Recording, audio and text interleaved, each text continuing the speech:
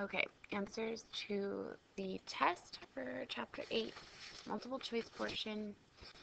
Um, number one, had a, uh, had a right triangle like this, and then you had an altitude cutting it, and this altitude is uh, is a, makes is perpendicular. And they told you that this side was 10, and this side was 5, and they wanted you to solve for x, y, and z.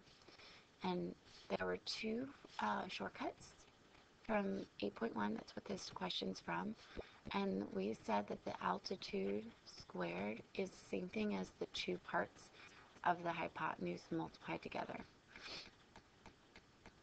And that's really the only thing you had to do for this question. The other shortcut was that the leg squared equals part of the hypotenuse times the whole thing. And there were a couple questions like this on the search and rescue.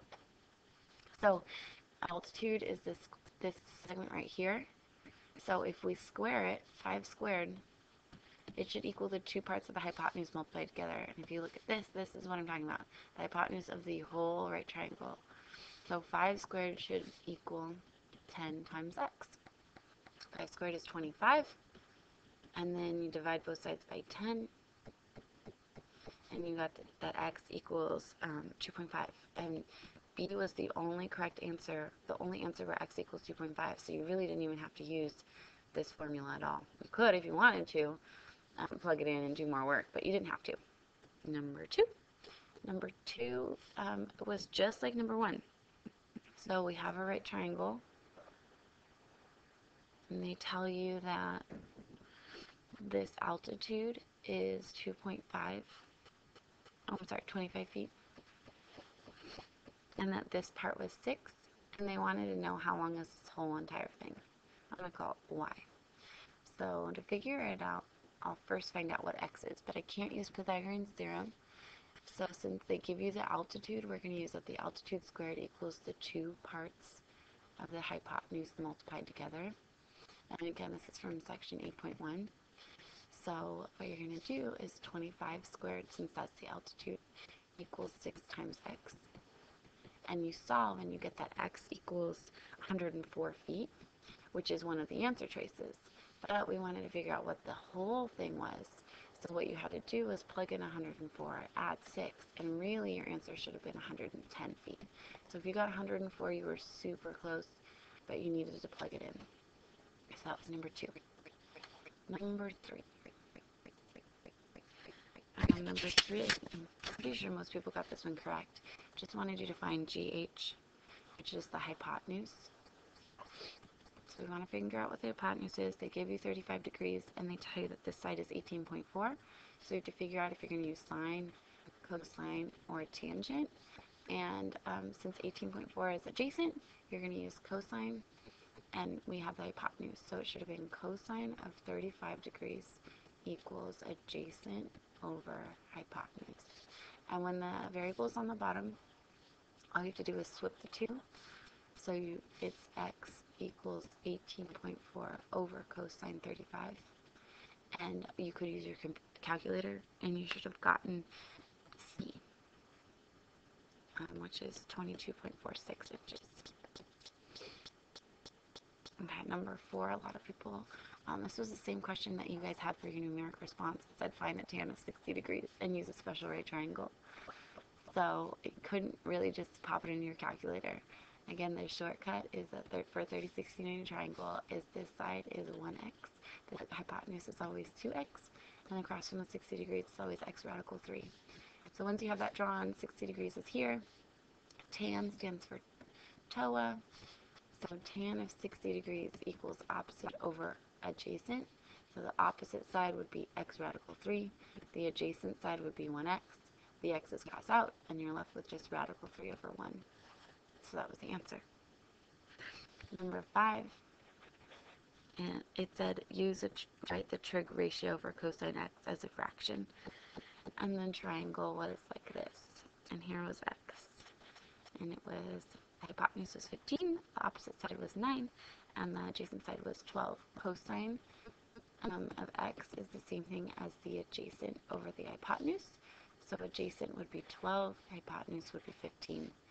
Um, So 12 over 15, and you can reduce that, but it didn't really ask you to. So that's how you do number five. Number six. Write the, use the trig ratio sine A equals 0.38 to figure out where angle A is. So we have this triangle that looked like this. They called this angle 2, this angle 3, which was 90 degrees, so it's not going to be an answer. And angle 1, they told you this is 1.3, and this is 0.5, and this is 1.2. You're going to use the fact that they give us sine to compare opposite. Sine is the same thing as opposite over hypotenuse, right? So let's say we wanted to find the sine of angle 2. Well, that would be 0.5 because that's opposite over the hypotenuse, which is 1.3. If you put this into your calculator, do you get 0.38? Yes, you do. And since they have the same ratio, that means that angle 2 equals angle A. Number 7 was pretty straightforward. Um, they wanted you to find out what the measure of angle M was, so you need to use inverse SOHCAHTOA and they gave you all of the uh, triangle measures. I'm sorry, they gave you all the side lengths. That was supposed to be right angle. Excuse me. Let me redraw it so it doesn't confuse you guys. So here was the triangle. Here's the right angle. So this one's 51. So this is the hypotenuse. And 45 and 24. And here was M. So you could use whichever uh, trig function you like. I really like sine. So I put in inverse sine sine is always opposite 45 over hypotenuse. So that's what you did, put it in your calculator, and you should have gotten 62 degrees. If you wanted to use inverse cosine, cosine is adjacent, so that would have been 24 over the hypotenuse, which is 51. And if you really like tan, that's opposite, which is 45 over adjacent. If you plug in these three um, ratios into your calculator, you're still going to get 62 degrees no matter what. Number 8. Some mountains in the Alps are very steep and have a grade of 42.7%. What angle does the mountain make with the horizon or the horizontal line? So 42.7% is the same thing as 42.7 over 100. And remember, this is slope, so rise over run. So that means this is 42.7 and this is 100 in our right triangle. And you want to find this angle. So you're going to use inverse tan since they give you opposite over adjacent. And when you put that in your calculator, you get 23 degrees.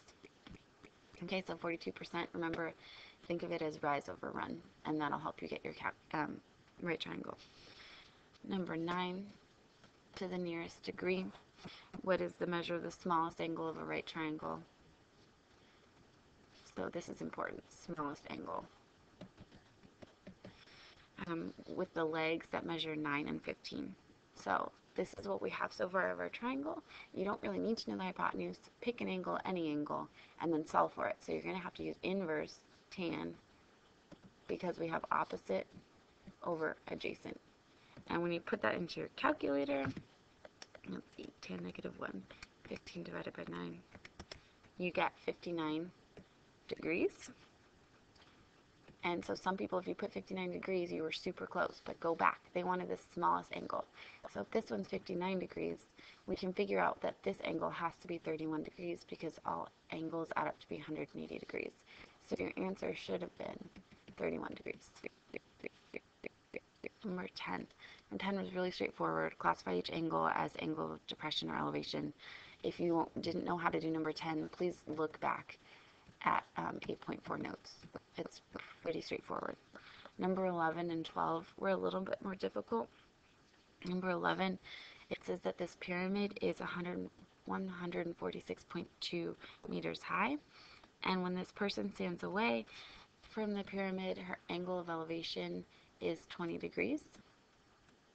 At the ground, what is the horizontal distance between the person and the center of the pyramid? And that confused some people, but you can think of the picture like this. Here's our pyramid the center of it. So we still have, there's, this is my pyramid, and this is the, where the person's staying. So we still have a right triangle. You're going to have to use tangent because we have opposite and adjacent. So tan of 20 equals 146.2 over x.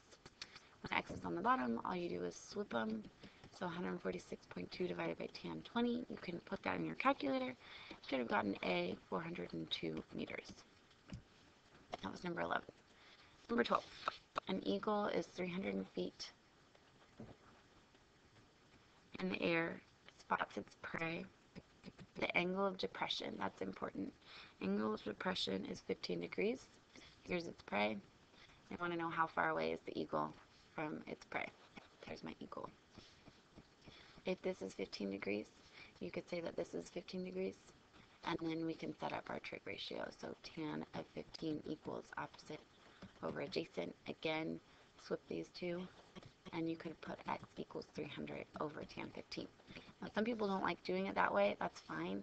This is always going to be a right angle, so instead of 15, you could have used 75 degrees. And then you could have used tan of 75 equals opposite over adjacent. And then the opposite of dividing by 300 is multiplying. Um, but it's up to you. you could, either way, you're still going to get that the answer should have been 1,120 feet, or A. That was number 12. Okay, the last one, number 13, was again on that worksheet, standard uh, 19 worksheet we did in class. Which of the following is true? Should have been D, sine squared x equals 1 minus cosine squared x. Because the formula we're um, coming from is cosine squared plus sine squared is always going to equal 1. And all they did was um, got the sine squared by itself. And to do that, they just subtracted the cosine squared x from both sides. So D was the correct answer.